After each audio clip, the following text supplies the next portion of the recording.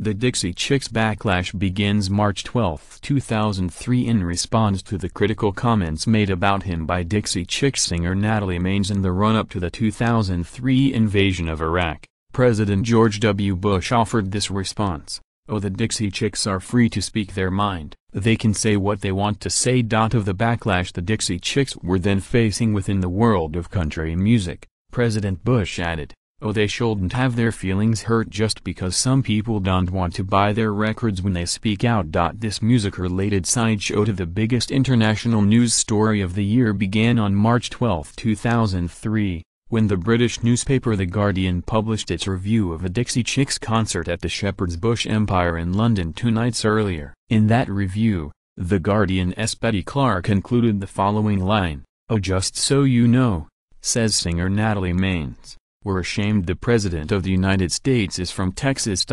Clarke left out the middle of the full quotation, which was, Oh just so you know, we're on the good side with y'all. We do not want this war, this violence. And we're ashamed the President of the United States is from Texas.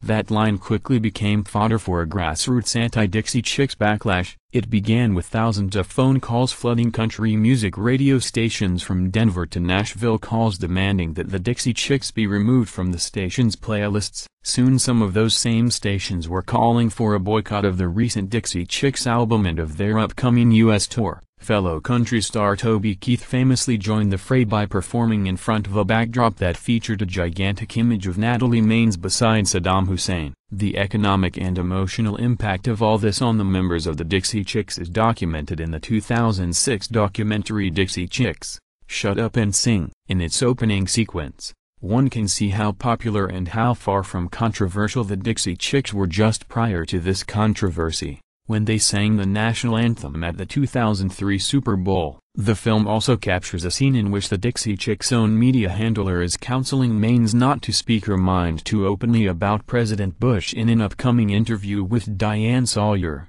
Oh we'll tell you why comma says the PR man.